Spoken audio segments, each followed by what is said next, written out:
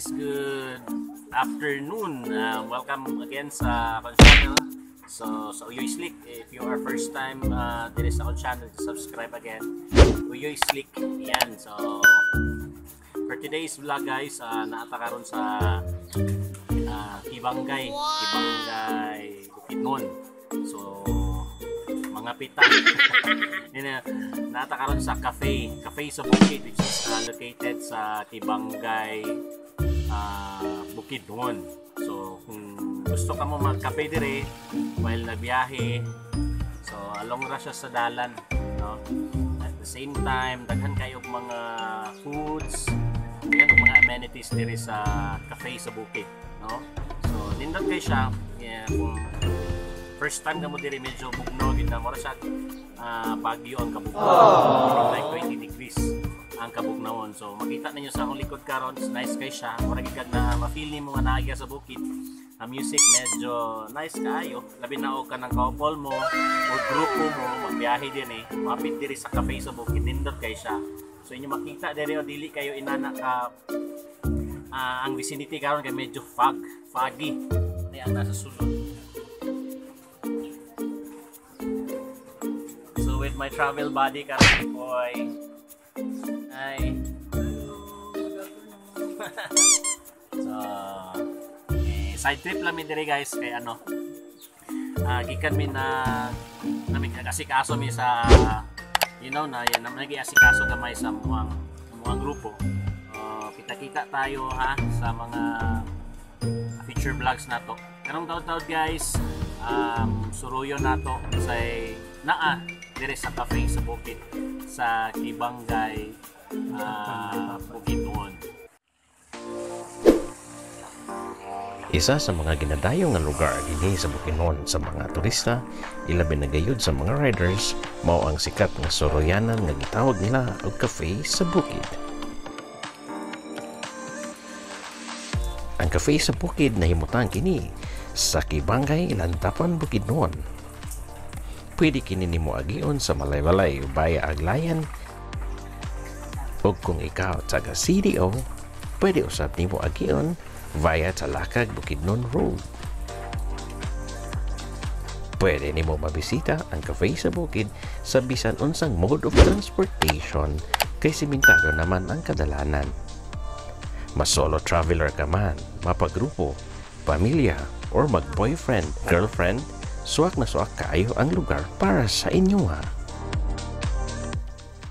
Kini nga cafe ginama lamang sa mga light materials nga halos makita lamang sa community sama sa kawayan, kahoy, uway, ug uban pa.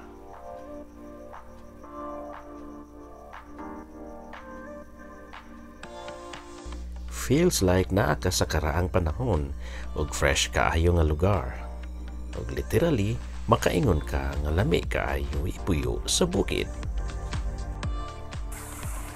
Ug tungod sa kanindot sa maong lugar, bisan ang salapati ganaan nagbalik-balik sa kape. Uy, ang sweet! Perfect kaayo ang lugar ilabi na sa mga tao na sobrang busy sa work or even sa negosyo kay makarelax kayo ka sa bugnaw o presko pagayod ang hangin. Bagay na bagay talaga sa iyo pwede ka din mag-date sa imong self kung wala kang masyadong oras sa sarili mo or even mag-bonding sa mga friends mo.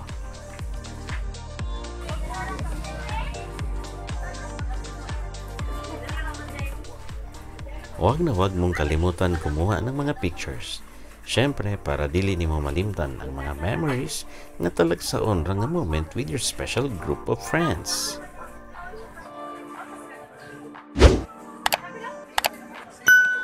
This is just one of the many things Bukidnon can really offer, lalo na sa mga tao mahilig maglakbay at maka-experience ng mga lugar na nasa Bukidnon mo lang makikita.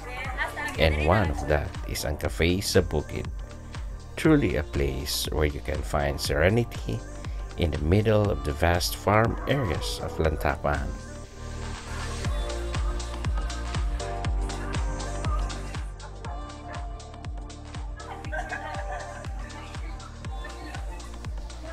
Take nothing but pictures lalo na sa mga furnitures na most of them are handmade.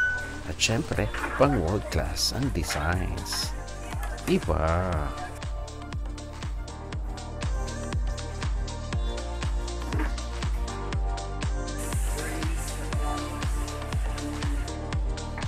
Deserve po sila og pamahaw paniudto ug mga lamian nga mga pagkaon, snacks like burger, syempre dili kayo mawala ang kape aron mainitan ang bugnaw nimong tiyan.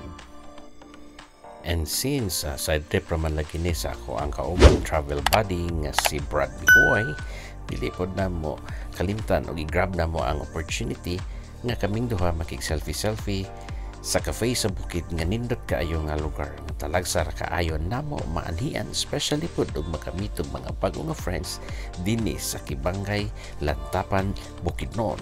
Thank you Cafe sa Bukid for a wonderful experience.